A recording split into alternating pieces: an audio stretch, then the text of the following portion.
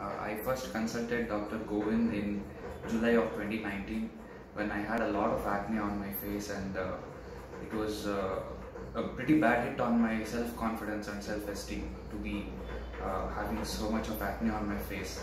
So I wanted to improve that and I consulted Dr. Govind and uh, from that day on he uh, advised me on a lot of face routine, face care routines starting from morning uh, face wash, then uh, maintaining it throughout the day with uh, another face wash in the middle, then doing an oil, using an oily skin cleanser in the evening after a long day.